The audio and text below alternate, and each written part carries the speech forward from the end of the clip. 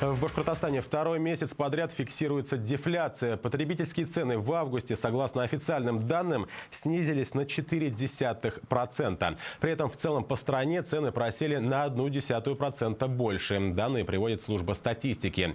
Если говорить о динамике за 2017, то на 1 августа инфляция в регионе составила 1% в годовом исчислении, 3,5%. Наибольшее снижение цен в Башкортостане в августе произошло в группе продовольственных товаров – более полутора процентов. Плодоовощная продукция подешевела на 15 процентов.